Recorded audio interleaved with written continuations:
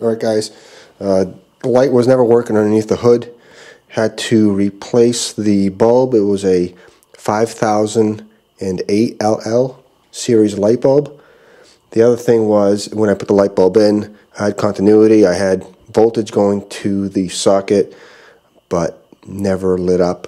So I had to disassemble the light bulb socket, pull the wire out, clean the mercury switch tips on either side, clean the cap and the inside after you pull the mercury switch out.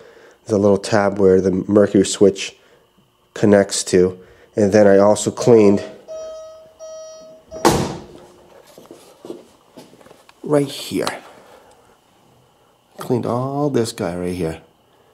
It's kind of bright in there, but at least you see. Now it's shiny Nice connection back there. And it's grounded. And you can see if I go back, close the hood a little bit. I'll go down with you here. And it goes out. Come back up. And it comes back up. So I didn't have to cut any wires. Again, the only thing I had to do was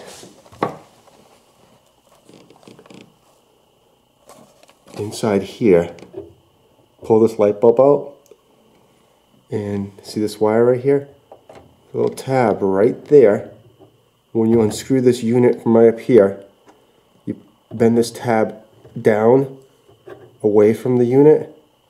This whole assembly back here pops out and comes out and you can pull everything out. Watch out, it's mercury. It's dangerous.